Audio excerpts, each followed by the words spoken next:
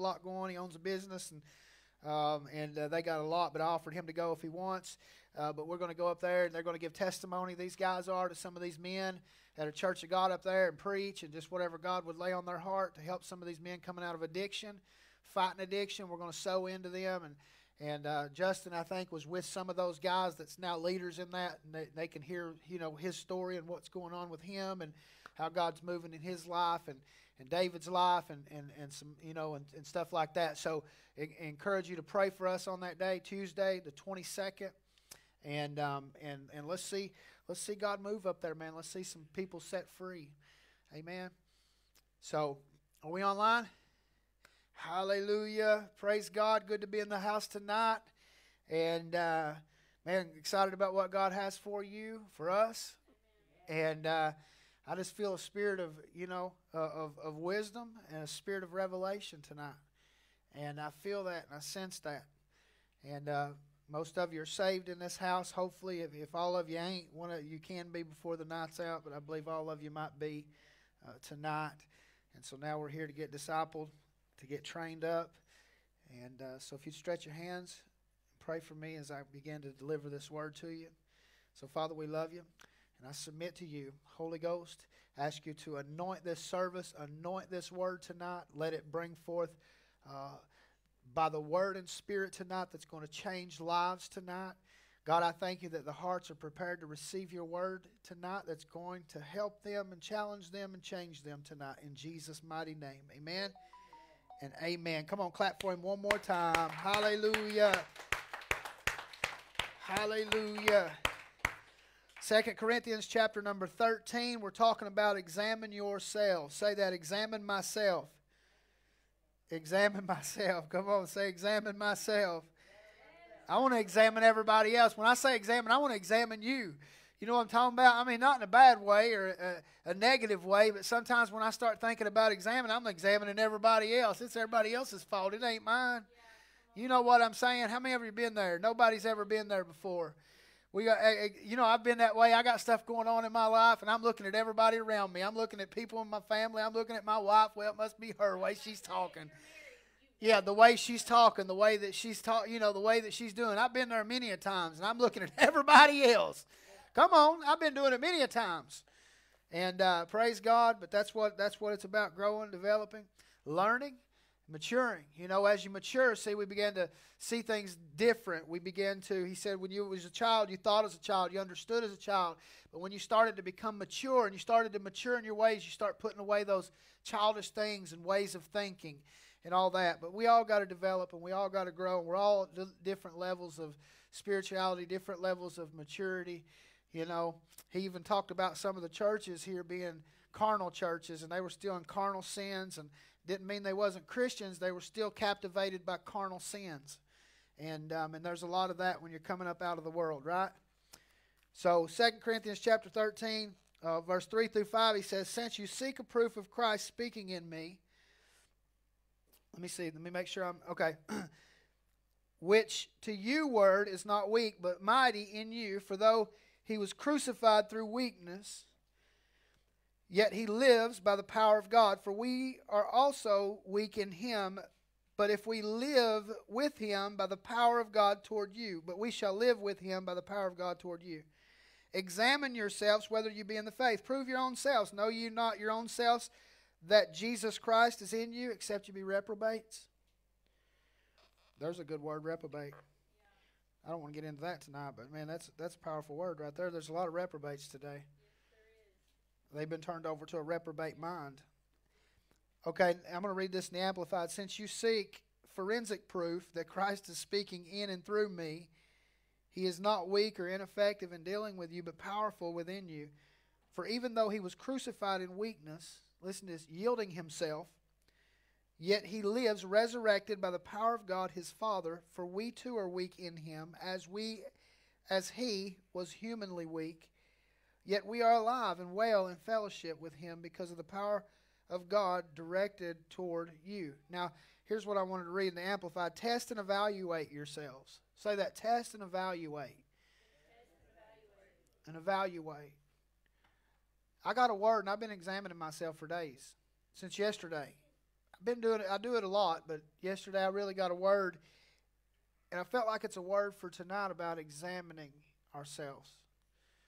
Because I can get up here and I can examine you. I can examine you as your and, and, and all that, but that really ain't going to make a difference. But it's up to you to examine yourself. And here he's talking about, listen, to, to examine and evaluate. Evaluation is very important.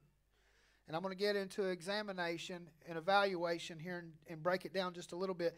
Examine yourselves and evaluate yourself to see and test whether you are in the faith and living your lives as committed believers.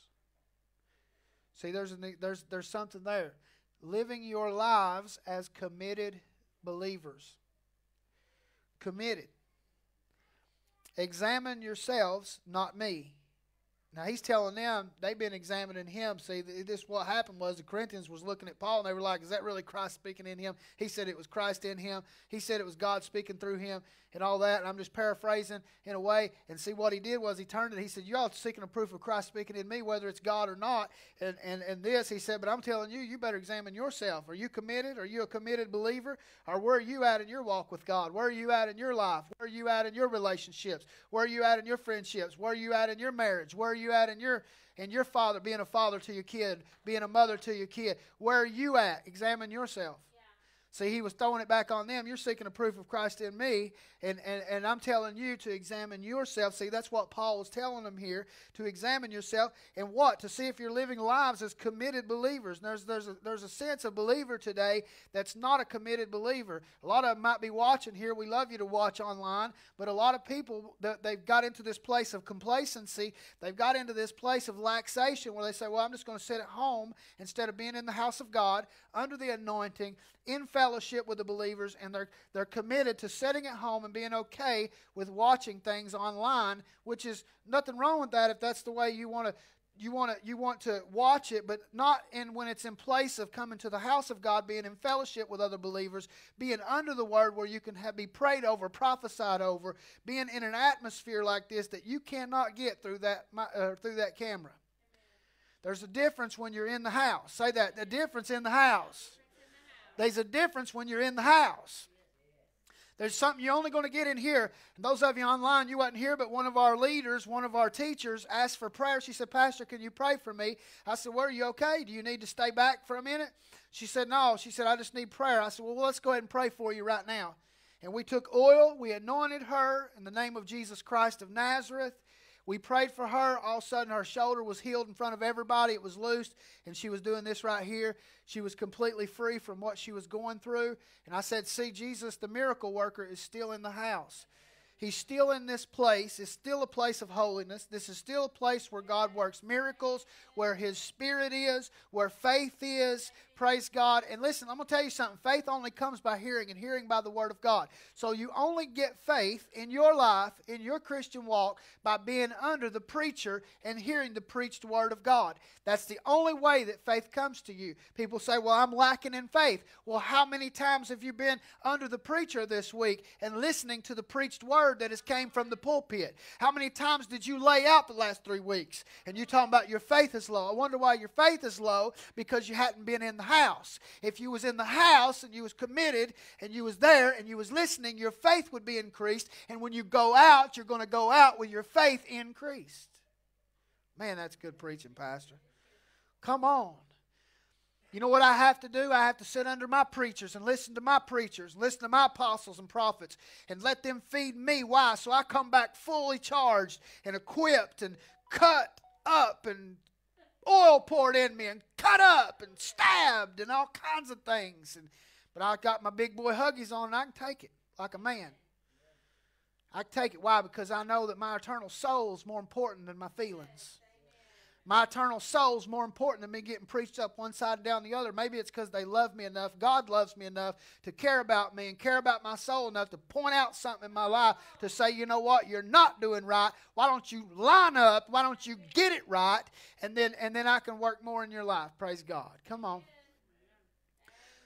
So we have to be under the preached word to be able to increase in our faith to increase in my faith, I need to hear the preacher. I need to hear the preached word of God. That's why the important times like this that we're together, that we come together as an appointed time, that we are to come in here, we are to expect God to move, we are ex- to expect, be an expectation of not only Him to move, but that He'll use us to be able to deliver something to you that's going to help you. So we're talking about examining ourselves, but, but those things are important because if we're not in the house, it's hard to. All right. Examine yourselves, not me. Or do you not recognize this about yourselves by an ongoing experience that Jesus Christ is in you? Say, He's in me. He's in me. Unless indeed you fail the test and are rejected as a counterfeit. Now, right here, this is important. But I hope that you will acknowledge that we do not fail the test, nor are we to be rejected I'm going to go on a little further because I've done opened up something here. I didn't even realize I was getting into that.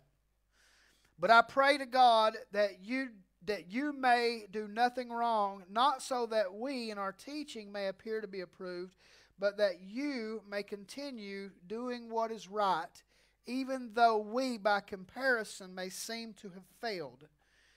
For we can do nothing against the truth, but only for the truth and the gospel, the good news of salvation. I'm going to read over here in the King James. Therefore, I write these things being absent. He was writing this being absent, lest being present I should use sharpness according to the power which the Lord hath given me to edification and not to destruction. So he was talking about here, though we be repert, he was talking about, but I hope and acknowledge that we do not fail the test, nor are we to be rejected. But I'm talking about examining ourselves. I'm not getting into that tonight on the other, but I'm going to I'm going to continue to stay with that about examining yourselves. When I started thinking about examination, I started there was something that came to me when we take our van. We got we got a van, and it's different when we got the van than it was the other cars that we had. The other cars that we had, we were able to have mechanics work on them. Any, anybody could work on them. But when we got the van, because of the model of it and the year of it, now listen to me, we have to take it to the Nissan plant, which you should, because they've got special computers that, that, that read that computer and they can tell you exactly what's wrong with it. When a light's on, they can hook it to that computer, do a diagnostic test, and they can, they can whittle that thing down and they can tell you exactly what's wrong with it. There was something that happened one day when we took it. Well, this light kept coming on, and my wife and something kept telling me, "You need to go get that checked." Sometimes we get busy, we get we get carried, we get our lives going, we get all kinds of stuff going, and we didn't want to stop long enough to take the van because we'd had to take it all the way to Cookeville, which is a little ways away, and then we'd had to leave it there. We'd had to either get a ride or follow each other, and she's in one direction and I'm in another direction, and so we get so busy in our life that we started to let that thing slip because the light was on. There was something telling us there's something not right here. Something's not right. You need to look at it. You need to check it, okay? Now, now it was just a light, and it wasn't nothing happening. I mean, she had a little, the brake was kind of a little bit, you know, but it's just a brake. It's just a light. Don't even know what the light is, okay? It's not an engine, or it wasn't a, might have been an engine. Was an engine light? Not an engine light, but watch this. Watch this. This, this is something the Lord brought. We're talking about examining ourselves. This light kept going off. This, this thing kept happening, and I kept knowing something's not right. All of a sudden, something inside me was saying, hey, you better get that checked out. You better get it checked out. Something's not right. Something's not right. Finally, I told us we need to take that van down there. We took that van down there, and I'm declaring the whole way, you know, hey, Lord, you're our provider. Because when you take it to the Nissan plant, it ain't the cheapest thing all the time that there is. You understand?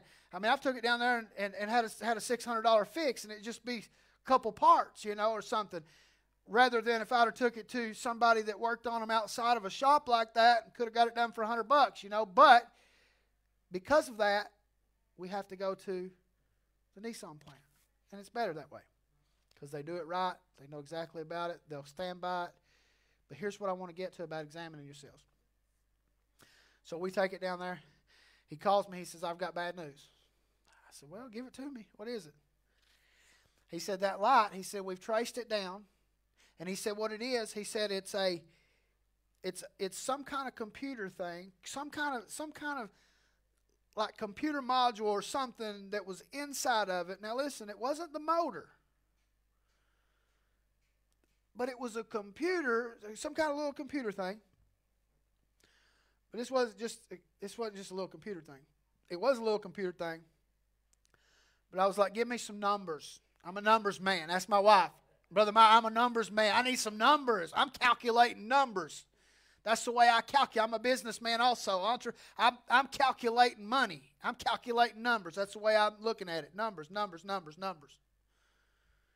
I'm thinking here, this is here, this is here, this is here, this is that. What do we got? Come on. He said, Well, this, this part will be about $2,800. I said, $2,800, really? Father, I thank you that I have a supply. I thank you, Lord, that I have a supply. And I'm not trying to camp on the money part, but this light that was connected to something that was going wrong, after examining the vehicle, even though it wasn't the motor, he said, if he, I said, well, can I drive it? He said, no, we can't get the part. We've got to get it shipped in until next week. I said, can you give me a loaner? Can you give me a car in replace of it? Well, we can't right now because they're all out. Well, we got a meeting coming up, South Carolina. We need we need a vehicle. Luckily, they provided one. They paid for it and gave it to us and all that. But what I wanted to get at is this: that one thing that was wrong in that van. He said, "I can't let you drive it." He said, "Because if it fails, he said the whole vehicle's going to fail. The whole thing's going to shut down." And that was connected to something else and he said it could cause you to wreck. If that fails, he said this could happen and this could happen and that car could crash. Because of one computer module, I don't even know, I'm not even get the lingo right. I'm not a mechanic, okay? That's why I got mechanics. I'm not even going to try to be one. I'm not even going to look at YouTube and try to be a mechanic. I'm not going to try to be everything I'm not. I learned that. You know, some people are like that. They want to be everything. They want to do everything. That's okay. The older generation, some of my wife's like that. She likes. She wants to do everything. I'm like, I'm believing God for somebody that knows what they're doing in that area to be able to do it. That way, I can use my time and my effort in an area that I know that I'm being more effective in what I'm called to do, and I can let them do their part, them do their part, them do their part, and praise God, I've got more time invested in in what I'm supposed to be doing. Because to me, time is money. I don't know about you, but I can't waste no more time. I heard the brother say that in worship. What, what are you thankful for? I'm thankful for time. That's what I'm thankful for. I'm thankful for another day. Why? Because time is valuable. Time is important. But after examining that van, that red light, I know something's off. I know something's going wrong. Well, if we didn't get that fixed and we would have kept pushing through it, it could have wrecked the whole thing. How many times in our life do we get to a place where God's given us those red lights and He's saying, Something's amiss in my life. Something's going wrong in your life. Something's right here. You need to start examining yourself. You need to start evaluating your situation and what's going on because you might be headed for destruction. You might be headed, I, I'm not prophesying doom to you. I'm saying they might be something you need to get right before you head down a road that you might not come back from the right way. There's so many times in our Christian walk that we push through those red lights, we push through those things when God's saying, "No, no, no, step back, examine yourself, take a th- uh, take a take an inventory of your life." And let me show you, let me show you till you get to the point where you can correct what it is, where you can get freedom and get past it on the other side. See, if we hadn't listened, which we pushed past the red light. We pushed past that for for day. I, I forgot about it. All of a sudden, I started getting a, getting a gnawing, and my the Holy Ghost was like red light, red light. You know, and I'm like, "Did you take that down there?" No. We need to take it. We need to get that. We need to get that checked. We need to get it checked now. And I'm just thinking, my God supplies all my needs. That's all I'm thinking. I mean, that's most of what I'm thinking. You know, I need to get it checked out. But my God, you said you would supply all my need. Praise God. No matter what it is, you got to supply for it. Praise God. No matter what it is, Lord, you're going to make a way. Praise God. Where there is no way, you've never failed me yet. And you won't fail me. There ain't going to be no yet. He's never failed. He'll never fail you. He'll never leave you. He'll never forsake you. Sometimes it's us that push past those things and we suffer the consequences of our own choices. And then we say, well, well, God, why wasn't you there? He tried to stop you. You wouldn't listen. You kept going. You kept going. You kept going. You kept going. You kept going. You pushed through. You pushed through. You pushed through. And then all of a sudden you fall and you blame God. God, where were you at? No, hey, I tried to stop you. I gave you a choice. I'd let you choose which way to go. I let you choose where to run.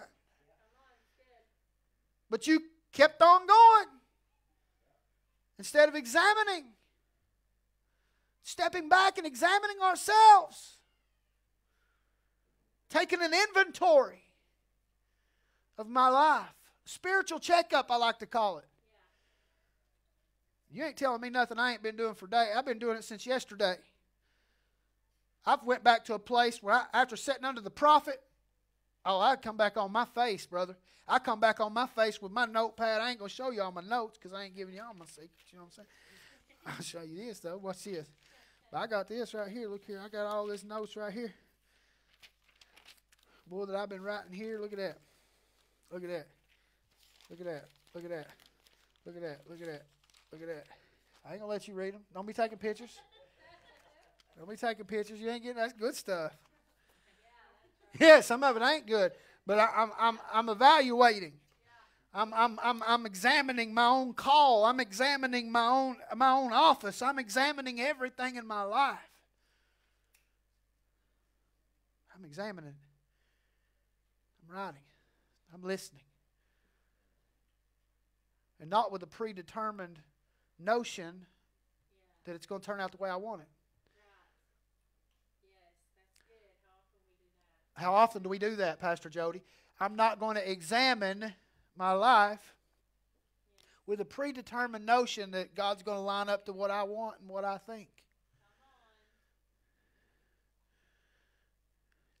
That's not that's not dying. That's not you understand? when I say oh, I'm predetermined of the way it's going to turn out, and He's going to line up with the way I want it. But coming back to a place that where I surrender again, and I examine, and I'm willing to correct whatever I need to correct, no matter what. And come back to that place where I let it go. Go to Galatians chapter 6 and verse 4. Is anybody getting anything?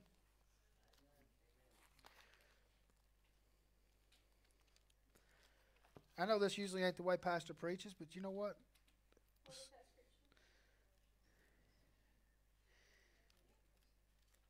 I want to be a pastor to you tonight.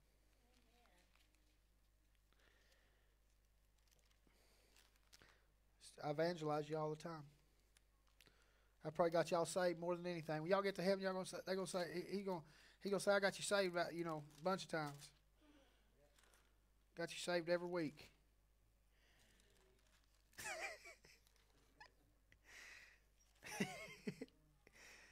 Jesus gonna say, Derek, you got them saved every week. Why didn't you grow them up?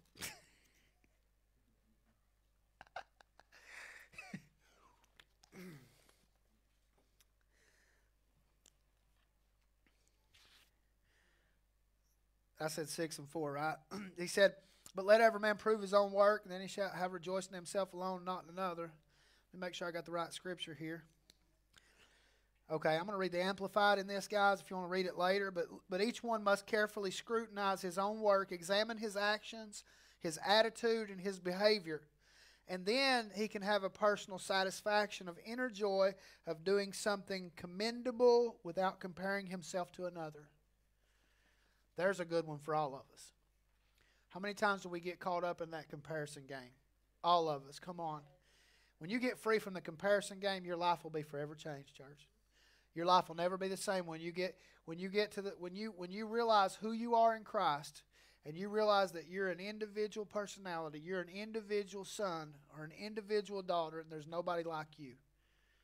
When you get that revelation, and that takes time sometimes, you still I still get to a place sometimes where I fight that comparison with other preachers and other ministries, and I'm looking at them and I'm like, my God, they look. It's like every they touch it and it grows. I mean, hundreds, you know, and and then sometimes you feel like you're pressing and you're and you're doing all this and it's not doing what you think it should, and and then you start comparing this to this, and you start looking at yourself, and you you you're you're, you're in this war between you know, what they're doing and what they're not doing and what God's doing, and you don't see everything behind the closet. All you see is the outward. You might see us up here just like you compare yourself to the preacher or to the pastor. Well, if you watched our life every day and every week, you might think different about wanting to be a pastor or preacher.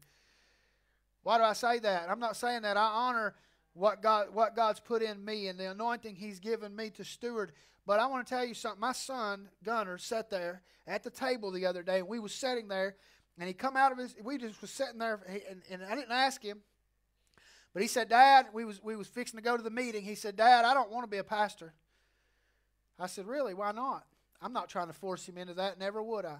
You obey God. Whatever God's whatever God's leading you to be, that's what you're going to be. But I wanted to know why he said that. He said, Because I see what you go through. This is my, my 12 year old. I'd never seen that from his perspective.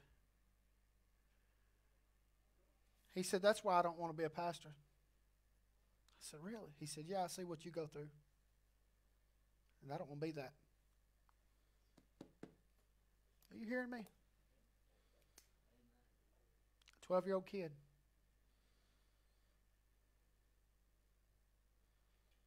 Sometimes we see the highlights of everything. You see the highlights of people's life. You see them used in great and powerful ways, but you don't see the price that they paid. So don't compare yourself. You look at Facebook, it's going to lie to you. You look at you look at YouTube, you're going to see everybody's highlight reel. You'll see ours if you look on there. I mean, we of course we ain't going to show you in there when we're knocked down and when we're in there in boxing gloves and boxers. You know what I'm saying? We fighting it out, not literally, but we're not going to show you that on video. We're not going to show you when we get up and on the wrong side of the bed. When we blow it, you know. So you're going to see all these highlight reels, and if you're not careful, you get in there looking at everybody's highlight reels. You're like, my God! You just throw up, the, throw in the towel because you think, my, my, I'm never coming up out of this. I mean, my life's messed up. See, it's a deception. It's a, it's a, it's a, it's a smoke screen that's not real. It's false. Not that, not that those pictures are, not that we're trying to do that, but we, we show you the good things, and because of course, you're not going to put everything out there. But what I'm telling you is, as your pastor, sometimes you get to looking at those things and you get to looking at all these people, and you're like, my God, everybody's life's perfect. my, my God, why is mine not like that? I pray and everything. I mean, I believe God. I trust God every day. I believe Him too. And we can get these false perceptions of what, what it's really like, and we get this false persona of what a Christian life looks like and, and what a minister's life looks like or what, what, what ministers go through. You know, uh, John, John, uh, John Maxwell said this. He said, A lot of people come up to me and say, John, I'd love to do what you do. He said, Really? Will you do what I did? He said, That's the question I always ask them. When they ask him, I'd love to do what you do. And here's what he says Would you do what I do?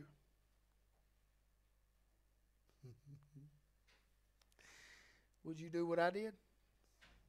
You want to do what I do? Would you do what I did to get to where I'm at?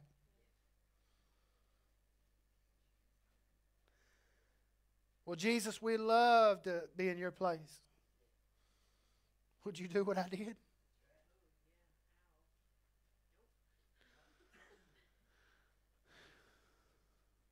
He went to the cross. He endured the cross. He endured the shame. Why? For me and you.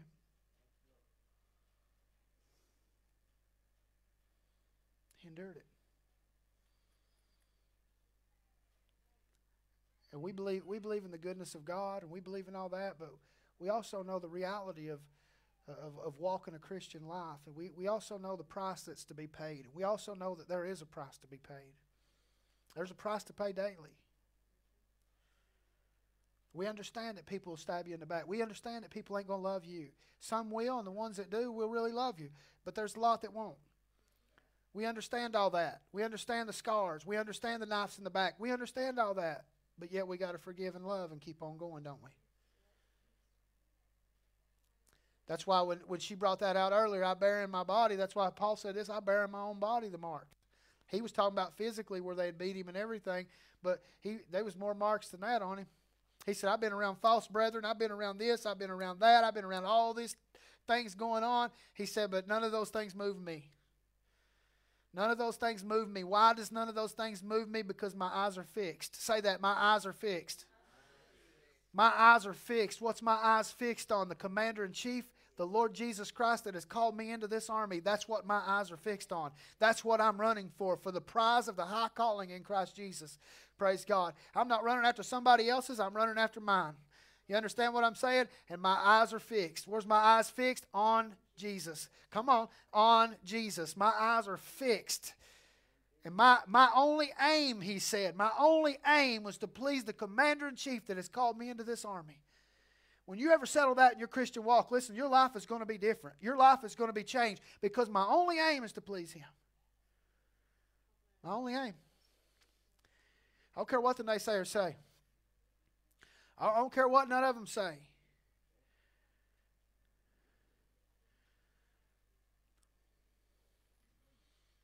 You get into that place, when you start to get your focus right and you start to get that get in that place right, then no longer can people affect you and hurt you like they did before because love is given without expectation. Love is given freely in that moment, not with a string attached to it saying, I love you if you love me. Oh, I'm going to do good to you, but you owe me to do good to me. I always say, I won't let that string happen either way. I won't do it with that string attached to somebody, and I'll never let that string be attached to me. Amen. Nor will I be the one holding the string either. Well, I'll do good for you. You do good for me. But you owe me. I might not say it, but I've marked it. You know what I'm talking about. See, Christ is called He's called you to freedom. Say that. He's called me to freedom. He's called you to freedom. He's not called you to be in bondage. He's called you to freedom. Free to serve, free to love, free to live, free to worship.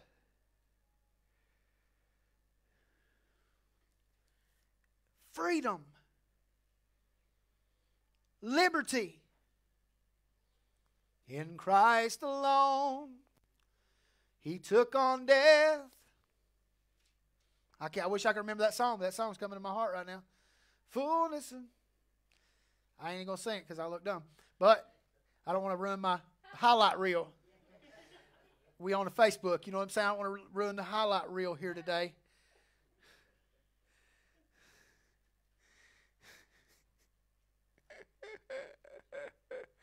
Come on, this is good stuff. This is a powerful anointing in here tonight. But we're talking about examining ourselves, examining yourself.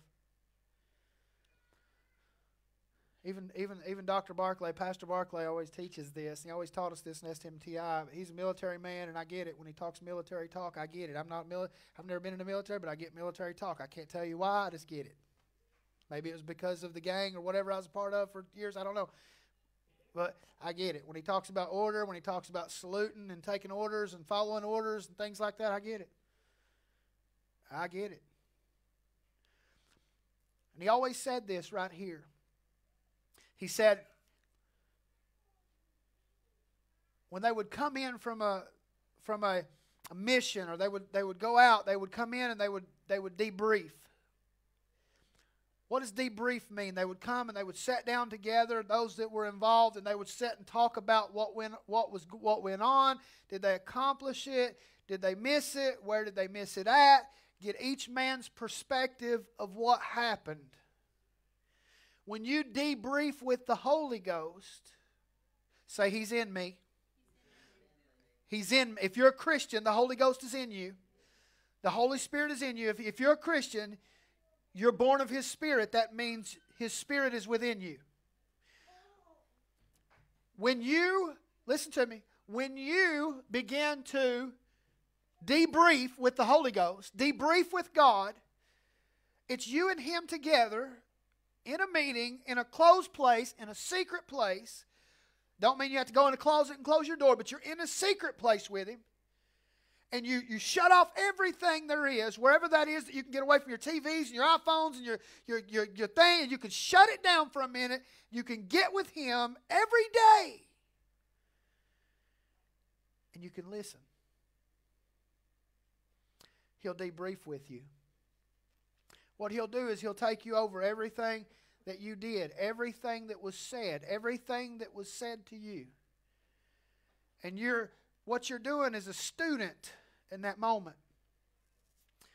And you're a student that is being examined by his teacher. And Jesus, through his Spirit, is examining you. But it takes you listening, being open, and getting into a place where you can truly hear him in solitude. Now, as you get older in the Lord and you begin to pray in tongues, you know, where it used to take you 30 minutes maybe to get into that place, you can get into it in a minute or two. Because you start to cultivate this life and you start to build this life where every day you start to create this place with Him where you can get to and you can allow Him to examine you and you can examine yourself. He said, if you judge yourself, you'll not be judged. When you stop judging yourself or examining yourself, that's when there's greater judgments that come on you. Jesus didn't come to judge the world, Pastor.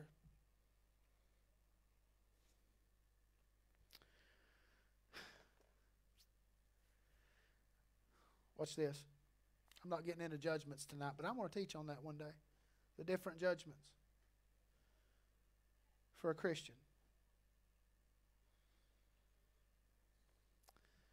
Judgment is mercy. You know that, right? Judgment, God's judgment in your life as a Christian is a form of mercy.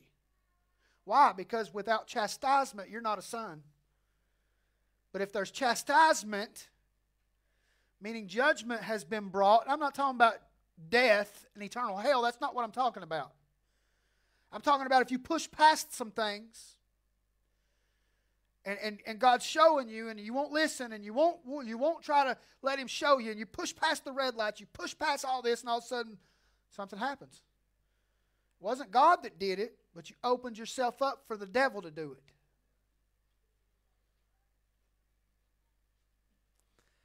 And then all of a sudden something happens. Well, that's a form of judgment that says, okay, you could still repent and correct it. I didn't know why I was getting into that. Here's what I want to get into. So, so now I'm debriefing. Means, means that I'm taking time out every day and I'm getting with God. When I leave this pulpit tonight, I'm going to go home and I'm going to spend time with my family. And you can ask my wife. I'm going to get to a place, whether it be in the bedroom, whether it be somewhere in my clo- in, in my in my in my office or somewhere, and I'm going to sit and I'm going to debrief and I'm going to get with God and I'm going to get quiet and I'm going to let him take me over every word that I spoke. Some of it he'll say that I was wrong. Some of it he'll say that I was right. Some of it he'll say you should have said this, you should have did this. I'll repent where I need to. I'll correct what I need to, and then I've examined myself. Are you hearing me? Is this helping anybody?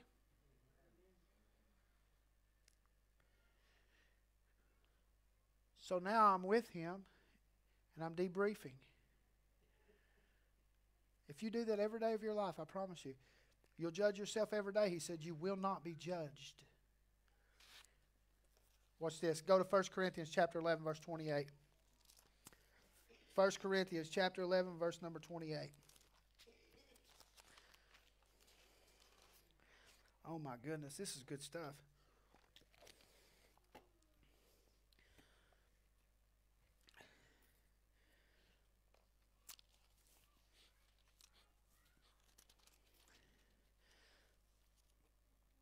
Everybody there?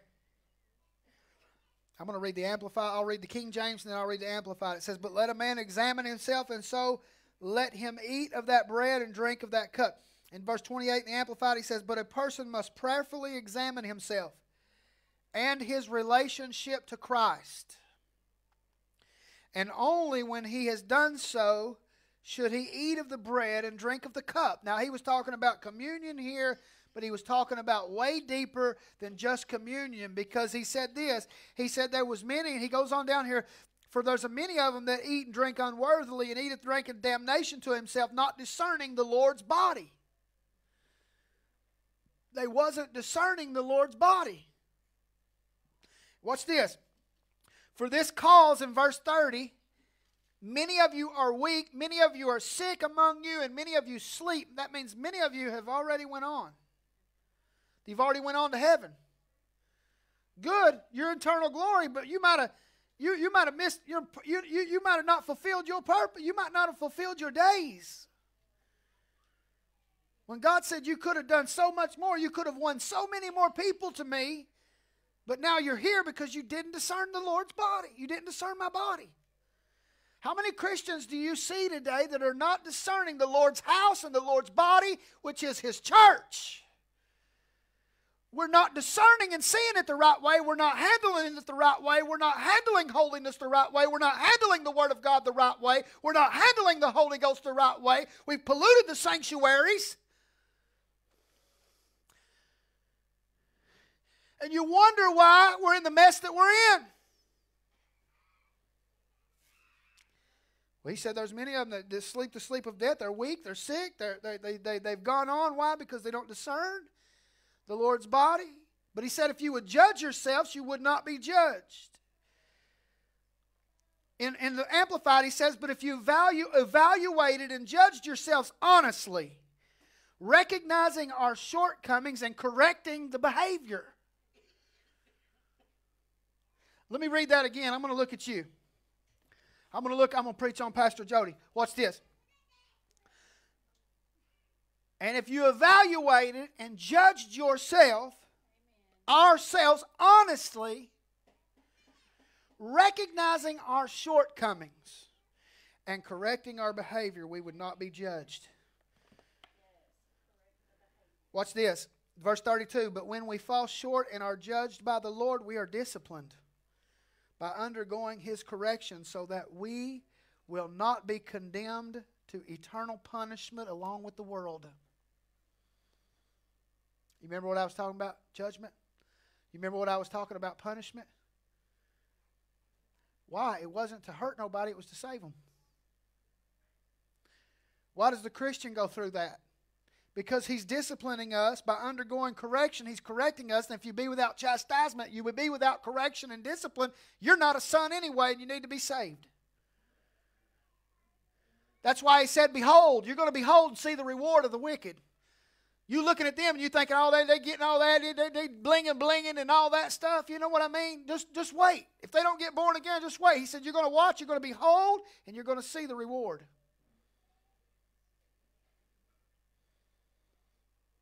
So don't get jealous. Don't think they got it all together. Don't think they got all that and this and, and, and they doing that. And oh, let's see them. How's them godless people prospering like that? How they doing all this? How, he said, don't worry. You're going to look and you're going to behold. You're going to see the rewards of the wicked.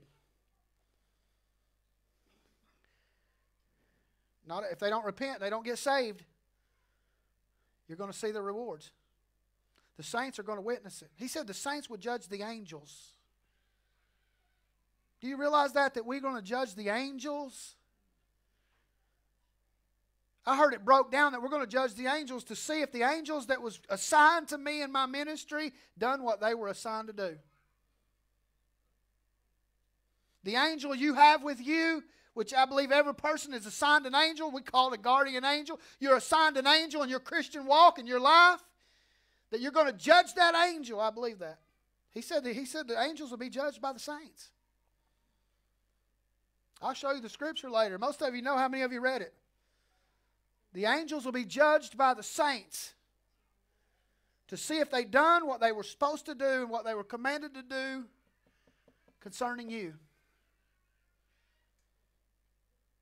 That's why I acknowledge the angels. I acknowledge the angels that's in my ministries. I, ex- I acknowledge the angels that's with me. Why?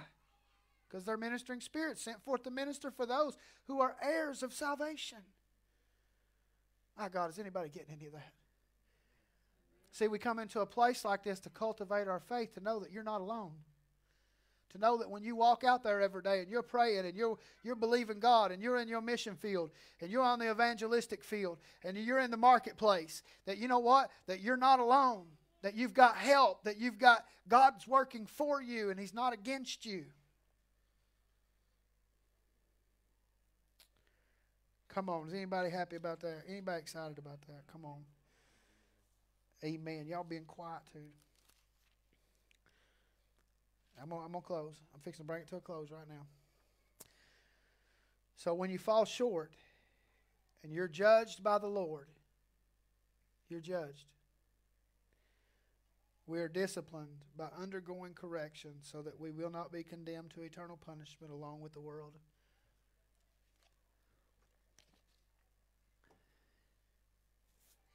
Are you hearing me? I want to close with this right here. Examine yourselves. Examine your life. Close the doors. We claim to be Christians, yet a lot of times we live in open rebellion to God, and we wonder why there's so many things happening in our life. It's because we live a life of open rebellion, sin. I'm just saying. If you'll examine yourself and examine your walk daily, and listen, this is something that was brought to me this weekend that I want to remind you of. Sometimes we look at the sin of the outward sins of the flesh, fornication, adultery, things like that, which are sins of the flesh, and they are very homosexuality. Yeah, that's a sin. Yeah, it is. And uh, let me help y'all with something on there. Uh, all that's a sin. I'm not just pointing one out. I'm talking about all that stuff sin. Fornication. Yeah, it is. You ain't married and you're sinning. Yeah. You having sex, you're sinning. Yeah, you are. That's a sin.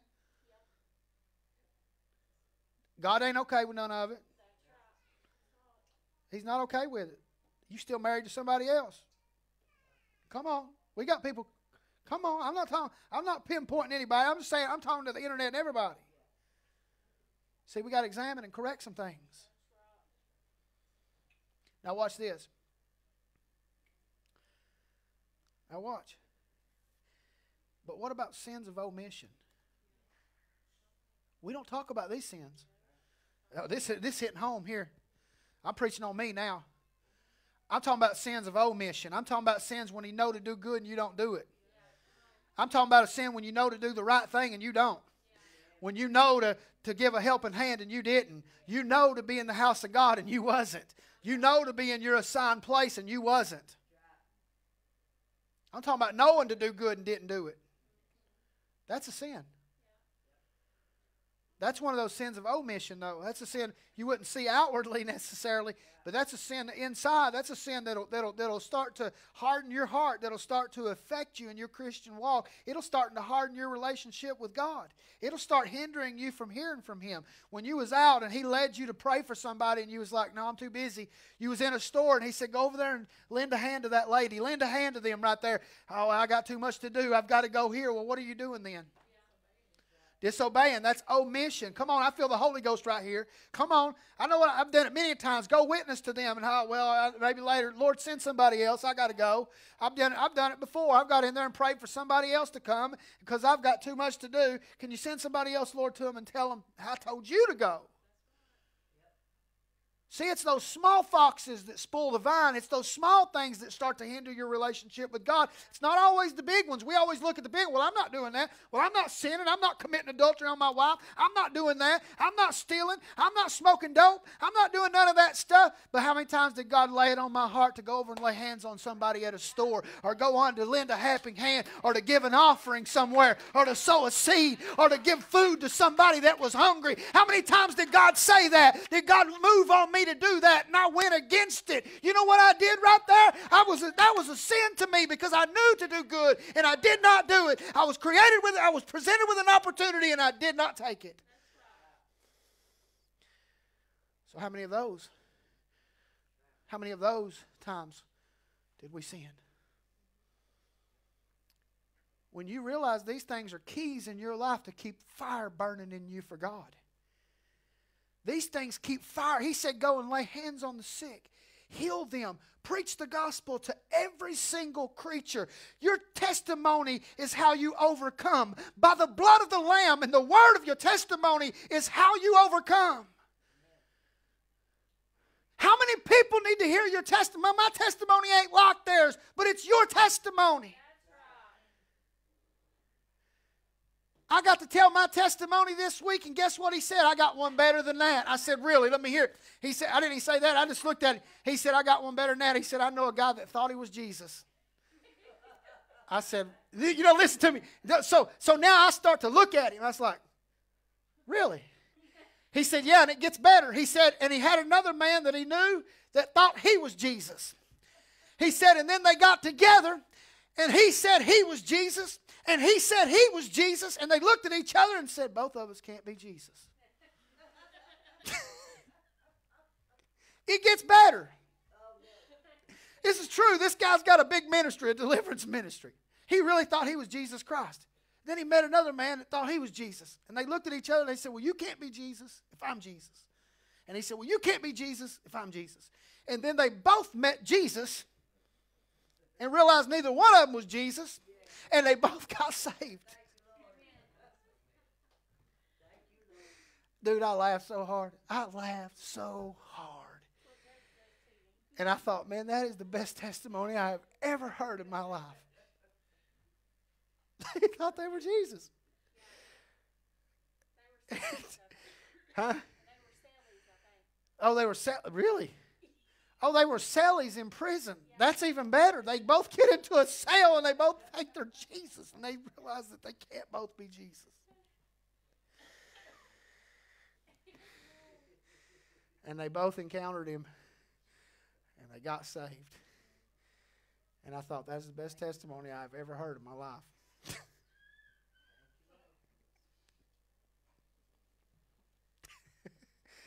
so examine yourselves. Examine, stand with me, stand with me, stand with me all over the house, all over the house. Let's get some let's get some music real quick. Let's get some music real quick. I want to open up the altars right now. I feel this by the Holy Ghost right now. I feel this.